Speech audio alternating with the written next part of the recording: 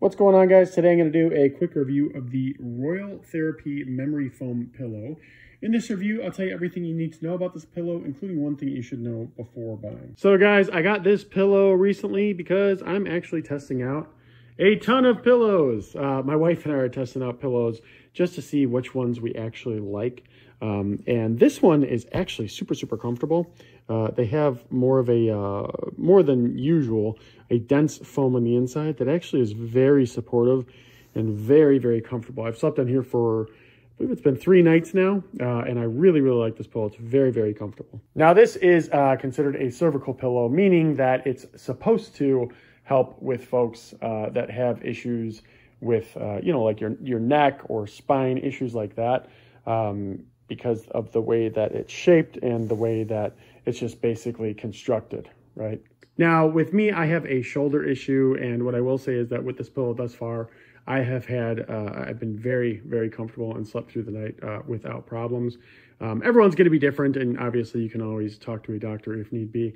But for me, this has been uh, helpful with that and just basically relieving uh, some of the stress issues that I have with weight and weight distribution, etc. What's also worth noting is that this cover here is technically the cover for the pillow. I've been using it for the cover.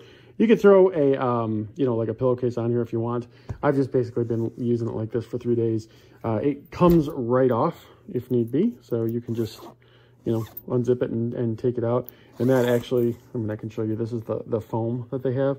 But like I said, this foam is a little bit more dense than a lot of the other brands that I've seen. So that's basically how that works. Like I said, it has this shape, which really helps. And this is very soft as well, um, which is a very nice thing when you're trying to sleep on it. it. It's soft, but it also provides support. One of the issues with me is that I like soft pillows. I really, really like soft pillows, but I also need support right? So it's this weird balance that I have to, uh, that I kind of have to, you know, deal with.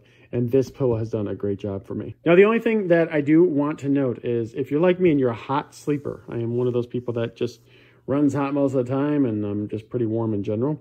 Um, what I have noticed is that, and it's probably because like the foam on this is pretty dense, uh, is that sometimes I, my head gets a little bit hot and sweaty. It's woken me up. Well, one night I woke up with that. Um, I was also under like these heavy blankets, etc. So, you know, that could have been a part of it too. But I did notice that um, from a breathability standpoint, I feel like it's pretty good.